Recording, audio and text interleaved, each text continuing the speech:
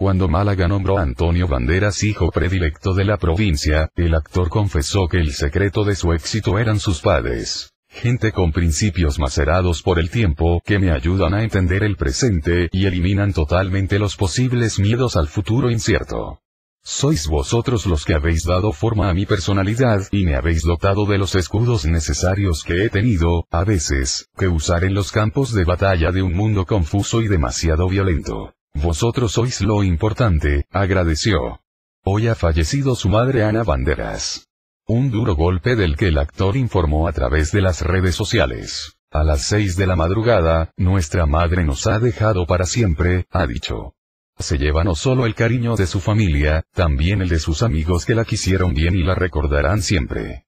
Que Dios la tenga en el lugar que merece.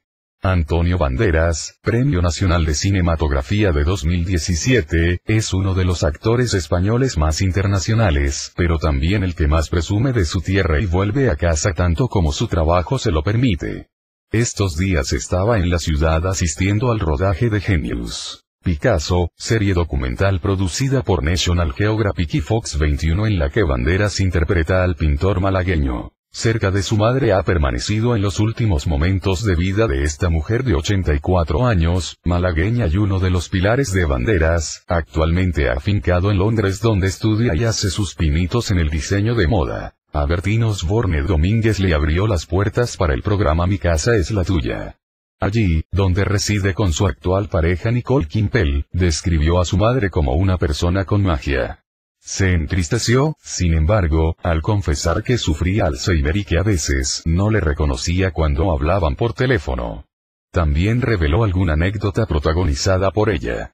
Le contó que llevó a sus padres, su padre José Domínguez falleció en 2008, al estreno de Evita en Londres, y que en un despiste perdió a su madre. Cuando la encontró estaba hablando nada más y nada menos con el primer ministro de Reino Unido. Y eso que no sabía inglés. Banderas se fue de la casa familiar con 18 años, su madre pensaba que estudiaba magisterio en Madrid, para cumplir su sueño de ser actor, debutó en 1982, con Laberinto de Pasiones, a las órdenes de Pedro Almodóvar, algo de lo que su madre puede estar orgullosa. Ha recorrido el mundo con su trabajo.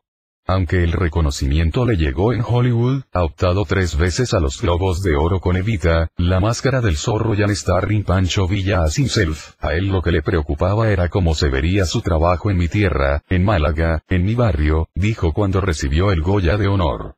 ¿Cómo le vería su madre? Y le vio desde todos los ángulos, porque le gusta empezar cada con algo nuevo cada cierto tiempo, como contó a Vanity Fair, y con un buen número de galardones. Comparte y no olvides regalarnos un me gusta.